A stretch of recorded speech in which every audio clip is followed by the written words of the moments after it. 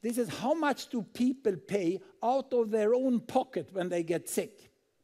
Well, in Germany, when people get sick, there are some fees and so on. I think it's, it's 13%. 13% of the cost of health service comes out of the pocket. Sweden is a little the same, and, and, and there are some countries here which is even, even lower. France, it's only 6%. The poorer the country gets, the higher proportion of health services paid out of the pocket. This means that when I started to lecture about global health, I said global health is easy, poverty causes disease. Today I say global health is complex, disease causes poverty. The most common reason that people fall back into deep poverty is that someone got sick and they sold everything they had the bicycle, the sewing machine, everything to sell, save that loved family member. That is an enormous challenge to bring it down. It's partly administrative, partly political, but don't leave that for the political. Go in with your biomedical research also, go in with the clinical research, make it possible. Reduce the number of doses needed, reduce the treatment period needed for different, and you can make it available for all.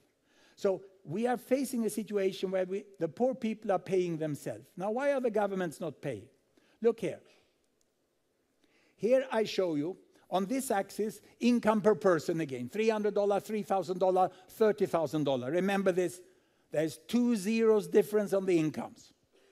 Two zeros difference. You lose one zero, you lose two zeros. These countries have 1% of the resources.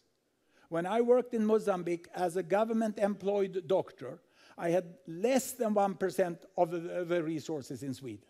My job was done with more than 100 doctors in Sweden. And I ask myself every morning, what should I do? Should I walk faster and do the same service but faster for every patient? Or should I maintain the quality and just take 1% of the patients?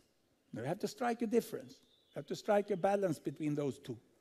And see here, Ethiopia, how much they have a very low income and they have very low health budget. This is the government health budget in dollar.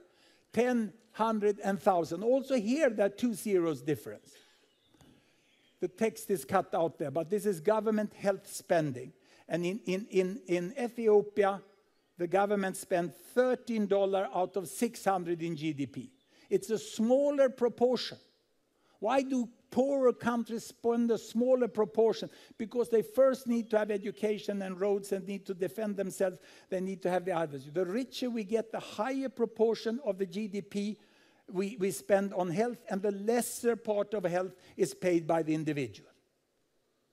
It's a quite interesting challenge to know this. If you put in this economical analysis, it will generate new ideas, and you will see that things that you think is not worth doing in research may be worth doing in clinical and biomedical research, just because it can help cut costs.